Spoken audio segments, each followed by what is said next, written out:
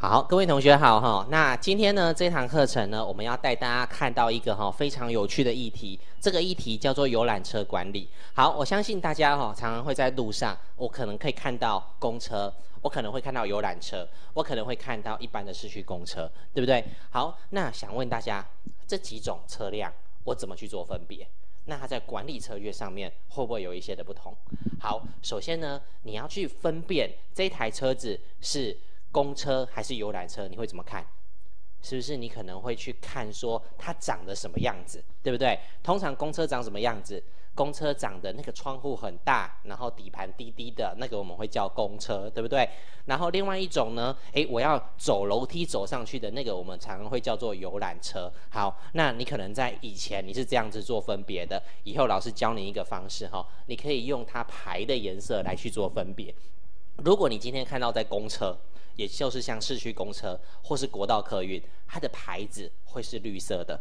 但是如果今天是游览车的部分，它会是红色的牌子。所以今天我想要去分辨游览车，我会用牌的颜色来去做分别。好，所以这里就跟大家讲一下哈，在这个章节里面，我们主要讲游览车，那它是大客车的其中一种。那大客车在业别分类里面，我们就有三类型。第一类型叫做公路汽车客运业。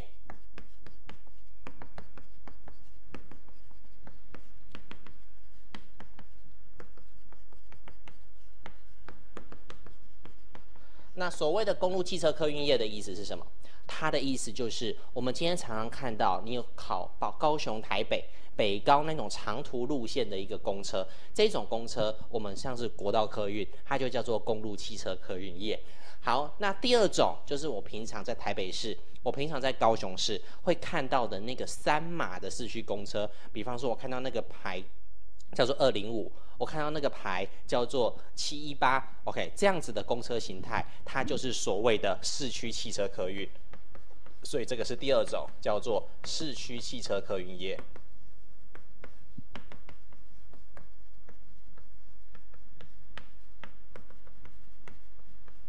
那还有一种叫什么呢？还有一种就是我们今天要跟大家来介绍的，叫做游览车客运业。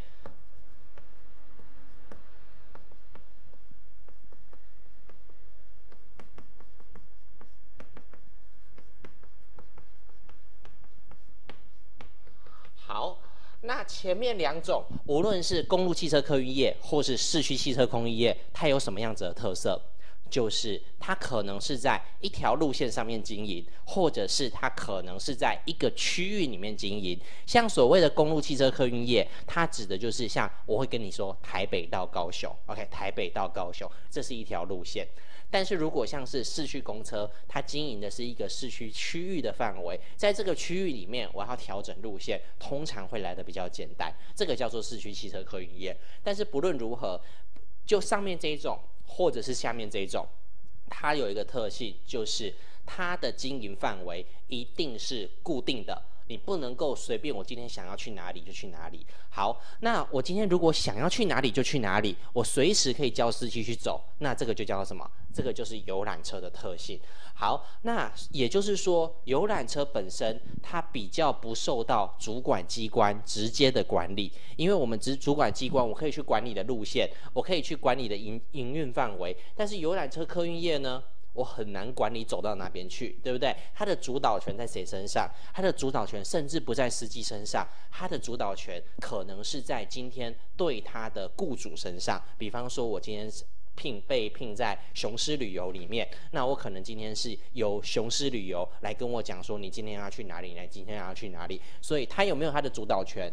并没有，那他想要跑到哪里，他会受到上面的乘客跟他的业主很大很大的影响。那这也会造成我们在管理上面很大的困难。过去我们在新闻里面常常看到游览车翻覆的意外，那那个原因不不外乎是什么？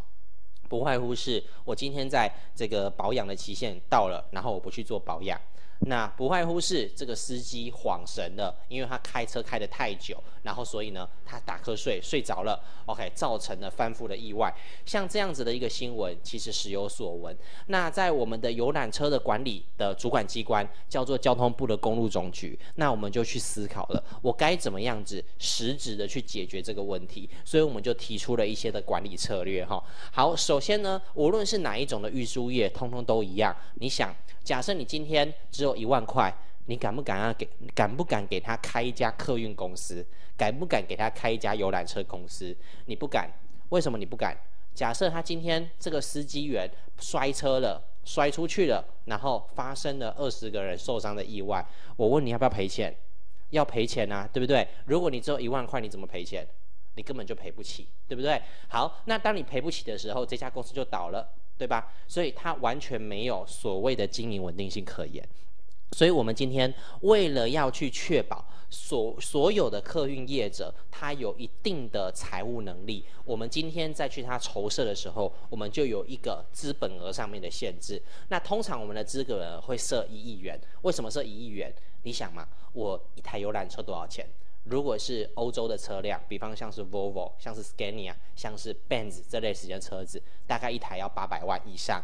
那如果你今天买稍微便宜一点的日本车好了，可能叫做 Hino，可能叫做扶手那是三菱出的，好，它大概也要五六百万。好，那我一家公司，你可能要十台、二十台，你觉得这些车辆总共 total 加起来多少？一定跑上亿跑不掉，对不对？所以你没有上亿的资产，如果你全部都是用租借而来的，那大概你很难稳定的经营下去。只要你遇到任何的事情，那这个时候你大概都没有办法去负担哈。所以第一个部分，我们来看到讲义，他就讲到说哈，我们就必须要检讨游览车管理制度的合理性，包含像是筹设的门槛、保险，还有筹设完成之后的管理制度。好，我拿到一亿元简不简单？容易，对不对？我今天找 A，找 B，找我的爸爸妈妈借一借，借一借，看看哎，我可能一亿抽得出来。好，那我今天用这个一亿元去做了公司的筹设之后，我就把这些钱怎么样，全部都还回去，还回去，还回去。那你觉得我是真的有能力，还是假的有能力？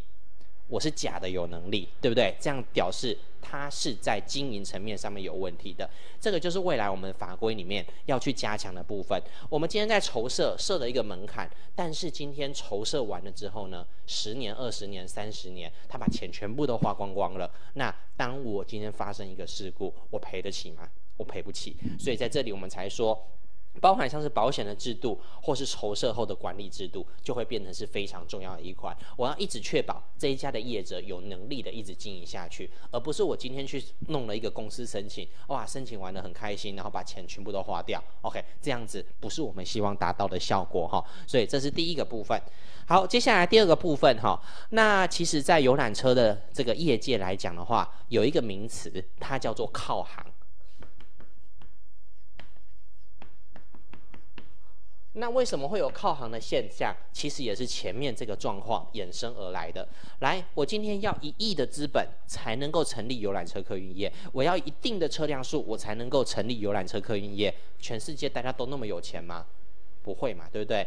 那但是很多人想要开游览车啊，这样怎么办？这时候我也想开游览车，我这个朋友也想开游览车，另外一个朋友也想要开游览车，那不如这样。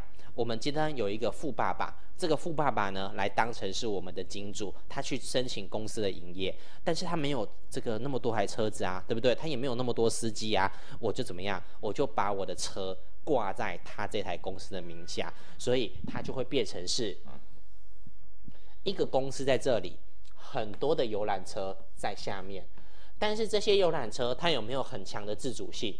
有，为什么有很强的自主性？因为是我自己跑去给他靠行的，对不对？然后呢，我每个月固定给他靠行费，固定给他靠行费。哎，你想，我每个月固定给你钱，每个月固定给你钱，那他是我的老板还是是我的顾客？好像有点难界定，对不对？所以就这个公司来讲，他希望多收一点的业者来当成是他这个的经济来源，因为我想要有很多人靠行给我靠行费，我的公司才能够维持得下去。所以这个时候，这个司机的主导权变得非常非常的强。我这个老板根本就管不动我的司机员，那这就造成说，我们今天在去做公司管理的时候，就会变得面临到很多的困难。那个老板会跟我讲说，我管不动我的员工啊，我管不动他，我管不动他，我管不动他，他们每一个人都有他自己的想法。OK，这个就是靠行所产生的一个问题哈，所以他就必须要去检讨这个司机员的管理制度，去改善整体性的工作环境。那我们的想法是什么？我们想法是，既然你收了靠房费，你就必须要负担管理责任。所以，我们今天还是一样，把这个管理责任担负在你的身上。好，那我们怎么做？我们今天最重要的就是要确保这些司机员本身他的驾驶工时是正常的。比方说，我们今天跟雄狮旅游做签约了。这个雄狮旅行社，他排了一个二十四小时满档的行程。你觉得这个司机理当来说，他负荷得了，还负荷不了？大概负荷不了，对不对？他肯定打瞌睡的。好，那既然他肯定打瞌睡，那我主管机关或者是我公司，应不应该让他出这台车子？不应该，对不对？所以他必须要从源头来去做管理。也就是说，我们今天要要求这个司机员本身，你今天接到这个案子的时候，你要知道这样子的一个。行程跑下来，你需要花多久的时间？那像我们汽车运输业管理规则里面就有定定，我们等下也会说哈，一天的工时就是十个小时。OK，你最多最多开车就是十个小时，不能够超过。那如果你今天，嘿，你看到那个行程表一看下来，哇，没有十五个小时我跑不完，你可以接吗？你就不能接。OK，这个就是所谓。我们所称的一个游览车管理制度的概念哈，我们要去检讨整个游览车的这个驾驶员的管理机制，那并且呢做工作环境上面的改善，尤其是对于驾驶公司的调整。那接下来第三个，好，申请很简单。那申请的时候，大家表现的都很好嘛，对不对？比方说，我今天来面试那个呃。攻读生也好，我一定会说，哎，我很乖，对不对？我一定会说，我今天会把所有的责任都做完。但是呢，我今天真的上班了之后怎么做，那是另外一回事。同样的，这些的公司也是一样。他今天来跟你说我要这个开业申请的时候，我一定把我写的怎么样，非常非常的漂亮，非常非常的好。但是你真的做下去的时候是怎么样子，没有人知道。所以这个时候，我们为了要让整个的经营能够稳定跟持续的下去，并且把好的叶子留下来，坏的叶子把它丢到垃圾桶桶里面，所以我们就必须要去做一件事情，叫做评鉴。好，评鉴是什么？评鉴就像你考试一样，考试有人考一百分，有人考零分，有人考五十分。那如果你今天考大学，像今天只考放榜，对不对？好，那只考一放榜之后，谁能够进哪一间学校，它完全就是靠分数来去做评断。那同样的评鉴也是，那我们就会把它分成，诶，比方说优等、甲等、乙等。那比方说我低到某一个程度的时候，我就要求他改善，或者是我就直接把你丢到垃圾桶里面，我把你淘汰。好，所以在这里他就说。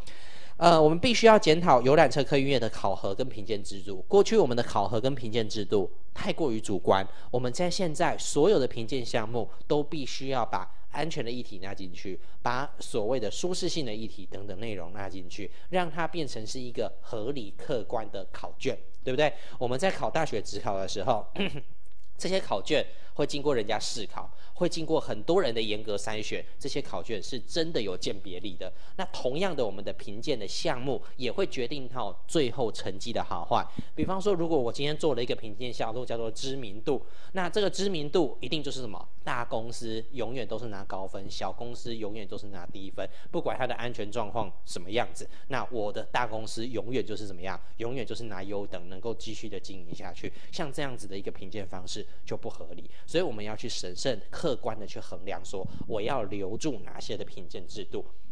好，那接下来第四个部分要去检讨游览车客运业的定位哈，还有思考未来业务的划分。好像是我们近年来在这个大概四五年前，陆客来的非常非常的多，对不对？好，那陆客来的非常非常的多，造成游览车业不断的蓬勃发展，然后一直买车，一直买车，一直买车。但是经过最近几年，陆客不来了。疫情发生了，那所有的国外旅客全部都不在台湾了。这个时候，我游览车业到底怎么活？我总不可能跟人家讲说，来，我总共台湾大概有一万五、一万六千台的游览车，这些的游览车，我问你，难道每天靠着政府的补贴塞给你钱、塞给你钱、塞给你钱吗？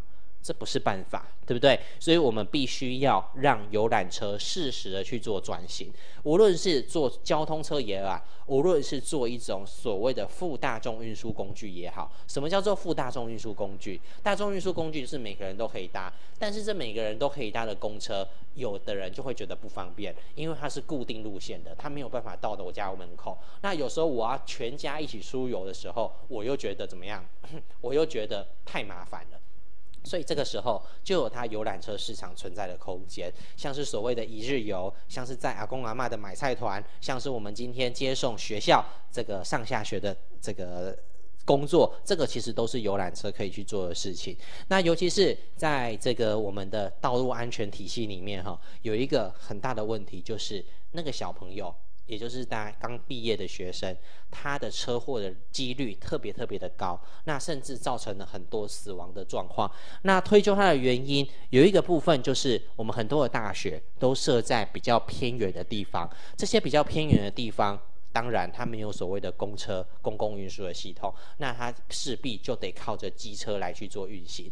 那你说你叫公车路线绕进去？不是每个地方真的都有办法绕进去，对不对？我总要有市场，它才有办法经营下下去嘛，对不对？所以这个时候，游览车客音乐它就可以当成是什么校车的角色。比方说，我们今天在学校的周遭。哇，这个周遭好多好多的租赁生，那我在这里早上就一台的游览车，把它载到学校里面来，这些都是游览车未来可以去做的转型的事情哈，不是永远都靠补贴，我们应该要帮他找到钓鱼的方法，而不是今天一直给他鱼，一直给他鱼。所以就游览车的定位问题，我们也要重新就思考。当我今天观光旅客没有办法进来的时候，我要做什么？那。反之，就是说，如果我们的观光旅客变得越来越多的时候，那游览车我要怎么去做分配？既有的市场我要怎么去估计？这些都是值得要去考虑的问题。好，那接下来我们看到下一个部分哈，我们要强化游览车客运业旅客还有其他利害关系人的连接哈。好，第一个部分非常的重要，把这里画起来，持续利用游览车的动态资讯系统，扩充业者的自主管理能力。好，就像我刚刚讲的，在这个状况之下。他的业主本身对于这些他下面靠行的司机员，他有没有真的对他们非常熟悉？他有没有像是我招员工一样，我来面试一次，哎，你觉得我觉得你 OK，你才来？他不见得是这样子做招聘的，所以他对每一个司机员的了解程度其实并不高。那这也造成说，我要管他的时候，我其实是管不动的。好，这个时候我就必须要靠什么？靠所谓的资讯系统来去做处理，像我这个司机这个老板坐在这里，我有没有知办法知道他开车开了多久？不知道。他开车开了多久？不知道。他开车开了多少？不知道。所以这时候我们必须要靠电动态资讯系统。这个动态资讯系统不仅仅提供给我们的主管机关来去使用，包含让老板。也可以去使用这样子的一个系统。好，什么叫做动态资讯系统呢？它其实就是我们今天办公室里面的监视器，只是它装在车子上面而已。好，那这个车子上面它怎么去做操作？它我们这一个每个人是不是都有像是健保卡或是自然人凭证，对不对？好，那我就会去插入我的行车记录器里面，记录我总共走的时间有多少。那这时候我是不是诶，在我后台的信箱里面？就可以去看说啊，我这个司机员已经走了九个小时了，我要赶快叫他停，不然的话呢，他就超时，我就要被罚了，对不对？这个是时间上面的管理。那我们现在可不可以在上面装 GPS？也可以在上面装 GPS，对不对？那 GPS 可以做什么事情？它可以去了解它的速度是多少。哎，有速度，那如果它超速，我可不可以叫它赶快慢下来？可以做这件事情，虽然在我们的警察体系里面执法上他还有一些疑虑。但是我如果就我是老板的立场，我叫你停下来这件事情，他毕竟没有所谓的行政处分的执行，他不会有行政法的问题。那同样的监理机关，如果是用提醒的方式要求你减速，他有没有所谓的行政处罚的作业？没有，所以这个 GPS 装在你的车上，我的主管机关或者是我的老板，我就可以去做到这件事情，适时的对于你超速的现象去做管控。好，那另外 GPS 还可以知道什么？除了知道速度之外，它最重要的就是知道你在哪。像你今天在三门补习班，你今天在旁边的友班，你今天在。那个旁边的牛肉面店吃面，他通通都可以知道你在哪里。同样的，我也知道司机开到哪里去了，对不对？好，那游览车本身来讲的话，就像老师一开始跟大家讲的，游览车本身它有没有固定范围？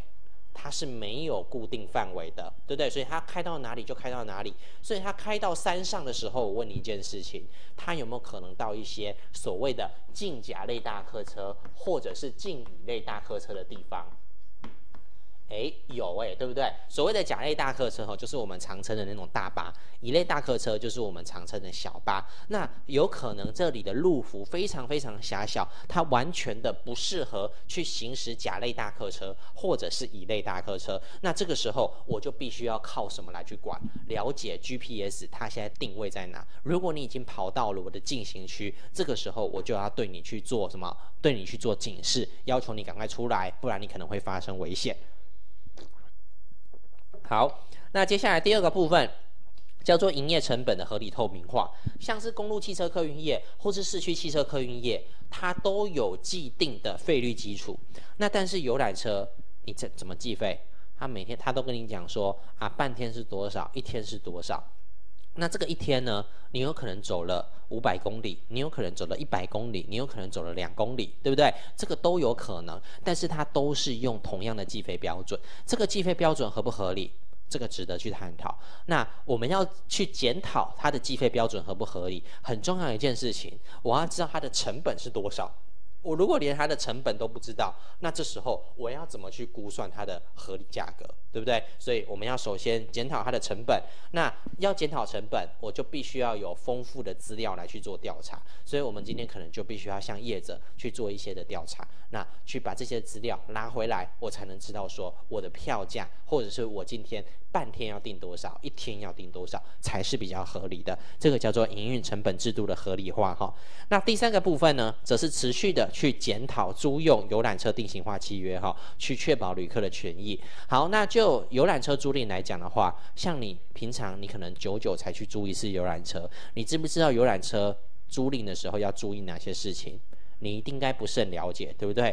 那如果有些不孝的游览车业者，他去在契约里面定了一些奇怪的规定，比方说，哎，我今天超过时间一个小时，要再付一万块；再超过时间一个小时，要再付一万块。所有的罚款都必须要由你这个呃呃这个租车的人来去支付，这个是不是不合理？对不对？如果他定在契约里面，你。你呆呆的就把它签下去了，你是不是就违法了，对吧？好，所以这个时候我们应该要由主管机关去订立一个制式化的契约，让我们今天所有的承租人都能够在一个公平的状况下承租我的车辆。好，所以他要去检讨租用游览车定型化的契约，去确保旅客的权益。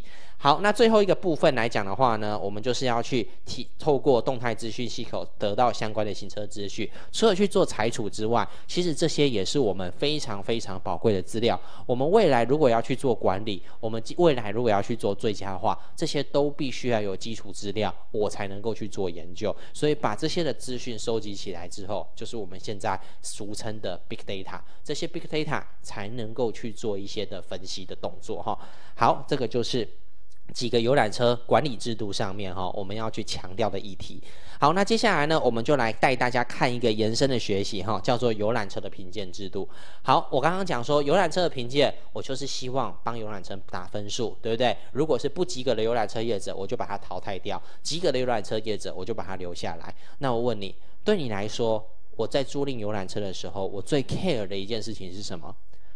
其实不论是主管机关或是民众，我最 care 的一件事情叫做安全。如果没有安全，大概游览车怎么样子舒适，怎么样子漂亮，都不是。能够去这个满足民众需求的哈，好，所以我们在这里，它就把它分成优等、甲等、乙等跟不列等四种类型哈。好，那首先是优等的部分，你看到它一开始就强调什么？强调安全这两个字。好，所以他说，戏子业者营运安全达到优良的水准。而且呢，它具备科技化的专业作为，那正正是建立品牌化的经营模式哈。那包含呢，它的基本的安全记录要达到优等的标准。比方说，我过去哎，车祸数量非常非常的有限，那违规的数量非常非常的有限。那第二个部分，因为现在是科技化的年代，尤其是游览车的司机员本身，他很容易会有疲劳驾驶现象的出现。那这个所谓的疲劳驾驶现象，就是指说我开车开太久了。好，那我开车开太久，那一定会累。那很累的时候，我要怎么去解决它？我可能要有科技化的手段。除了像我刚刚讲的动态资讯系统之外，我可能要有一些视野辅助。比方说，我们今天在开车的过程里面，你想睡觉之前会怎么样？是不是眼皮会跳得特别快？对不对？那你眼皮会跳得特别快，代表你想睡觉。那我可不可以就透过一个仪器来去侦测你眼皮跳动的状况？可以，对不对？那如果你今天眼皮调动的状况，经过我们今天侦测之后，发现到你快睡着了，我可能就去哎喷一些香氛。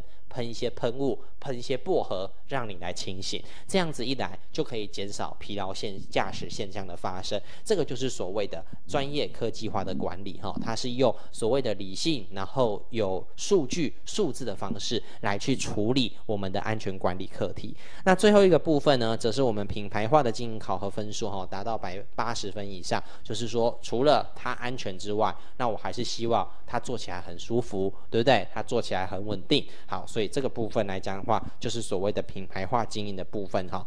那第二个等级则是说哈，在这个营业的安全达到良好的水准，它可能没有像优等这么样子有品牌化，这么样子的大规模，但是基本的科技的手段它都有去做好。那乙等的部分来讲的话，它等于是我们一个及格的标准。这个及格的标准就是所谓的基础安全水平，就是说，哎，你坐上车大概。基本上，我可以确保说，你可能比较不会发生事故。它所有的安全的标准有达到我们最基础、最基础的要求，这个我们就会列为一等。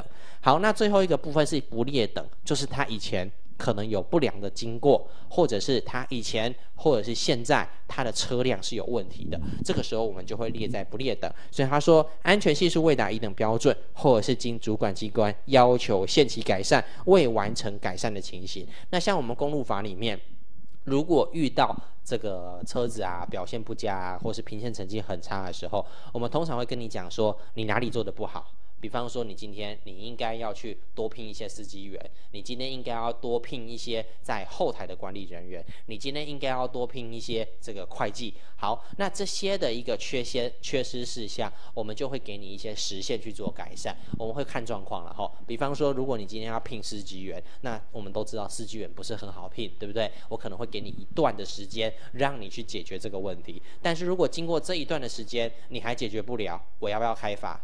我就开发，对不对？甚至是我直接把你去做测照，OK，这个都是有可能做到的事情。所以，我们就要用透过所谓的评鉴的方式来去怎么样，把好的业者留下来，坏的业者把它丢出这个市场以外，才能够确保我们整个游览车市场的一个安全性。好，那接下来呢，我们就送大家一个题目哈，来，我们来看到在精选试题的部分，他说呢，有关游览车从业管理的相关法规中哈，对于游览车公司申请设立。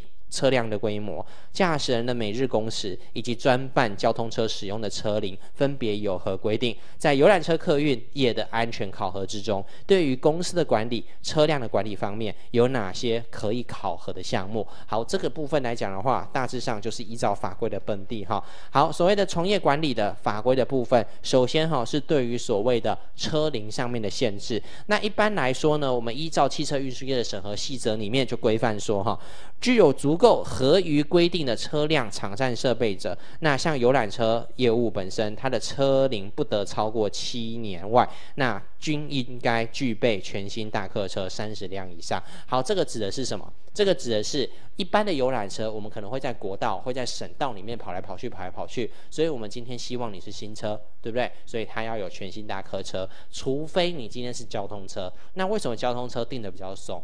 因为交通车通常就是我刚刚讲的。它可能只是从旁边的一个租赁区跑到市区，然后市区再跑到租赁区，那再跑到学校里面，它都是非常非常短程的作为。所以在这个短程里面，比较不会经过国道，比较不会经过快速公路，所以在这些状况之下，它相对的风险比较低，所以我们才会去允许他说你七年以下就 OK 了。好，这个是为什么要去放宽所谓的专办交通车车辆的原因。好，那接下来我们就看到驾驶人每日的工时的部分。那它是依照运管规则的十九条之二里面哈，那他就讲到说，第一个哈，每日的驾车时间它是不得超过十个小时。那连续驾车四个小时应该有三十分钟的休息时间，连续两个工作天之夜应该有连续十小时以上的休息时间。好，这里要注意，他所做的法规定义叫做什么？叫做驾车时间，记住哦，这个驾车时间，我问你一件事情，它跟工作时间这两个名词一不一样？它是有差别的。像以前是不是有一次在这个立法院咨询的时候，他问劳动部长说：“哎，部长部长。”这个驾车时间的意思是什么？他说手握方向盘，对不对？没有错。驾车时间的定义就是手握方向盘在行动中的时间。这个在汽车运输业管理规定规则里面，我们全部都是规范这件事情。好，为什么？原因在于说，交通不管的事情是什么？交通不管的事情是车辆的运行当中的状况，他管不管你今天把司机派去做行政业务？不管这件事情。好，你会问老师说：“老师，老师，那这样他就会过劳啊，对不对？他做了一下行政业务，又跑去做了什么？又跑去开车，开车完之后，他又跑去做行政业务，也是会累的耶，对不对？好，没错，会累的。好，所以在工作时间的部分来讲的话，它不会定在汽车运输业管理规则，因为你去做行政业务的时候，跟我开车一点关系都没有，所以我在汽车运输业管理规则不去定。但是在哪里会定？有劳动基准法，对不对？不管怎么样，司机都是劳工啊。所以无论他今天在做行政业务，或者是他今天是在开车的时候，他通通都是用劳动基准法的规定。那劳动基准法有没有所谓的工时规定？有啊，对不对？一一个一个月最多最多加班四十六小时，一天的工作时间它有上限的限制。所以这些的东西通通都在劳动基准法里面有定义。所以为什么他回答了？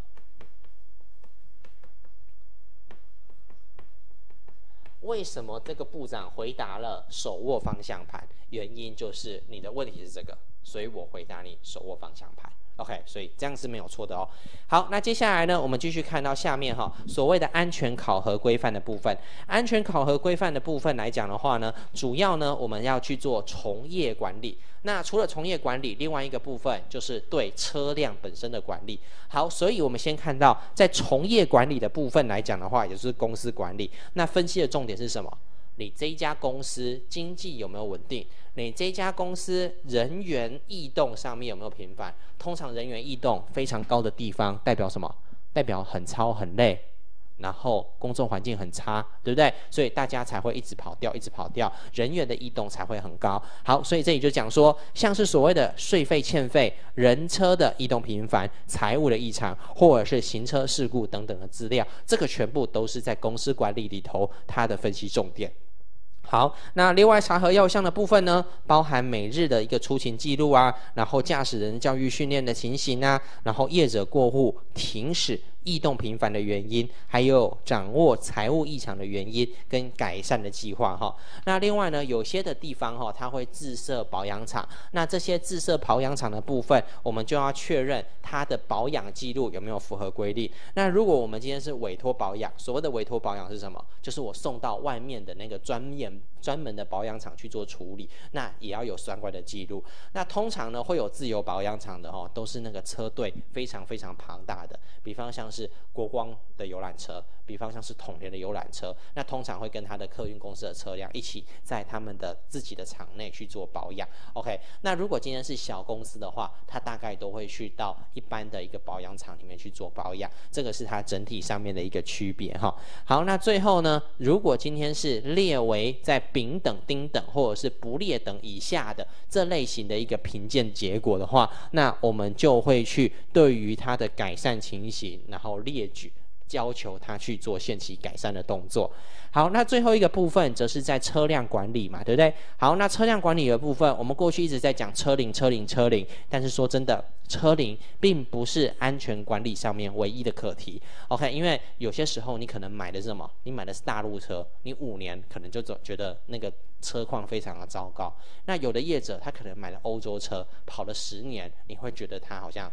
状况还很好，对不对？所以车龄确实不是一个唯一的判断标准，它只是一个参考的项目。好，所以我们就来看到在车辆管理里面，它分析的重点有包含哪些呢？好，就包含说哈，像是重大的违规事故，比方说今天它的车身设备做变更，这个其实常常会发生什么火烧车，尤其是现在我们要求大。很喜欢装很多很多的那个电器设备，这些电器设备如果过载的之下，都很有可能产生火烧车的影响。所以包含车身设备，然后胎纹不符合规定，行车记录器没有办法正常运作，或者是灭火器失效等等。那另外呢，在这个逾十五年的车辆如果很多，代表是什么？车子真的太老了，OK，应该要去做改善。那另外呢，如果今天违规有未结清的情况之下，同样的也是必须要去做处罚的哈。那在查核的部分。来讲的话，就会依照几个法规的部分做查核，比方说像是派车的记录、保养的记录、维修的记录，以及车辆违规项目的改正情形，这些都是我们在去做实际查核的时候会包含的项目。OK，好，那就是我们今天哈所讲的游览车管理的部分。那如果有相关的问题，欢迎再来询问老师。好，那这是我们今天的内容，谢谢。